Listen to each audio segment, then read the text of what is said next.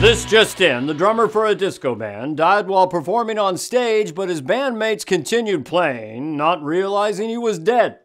Many people were puzzled over how it's possible that an entire band wouldn't realize that their fellow performer had died.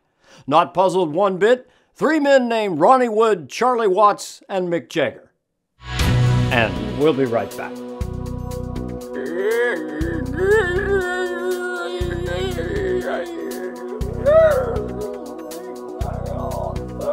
Vai. Vai.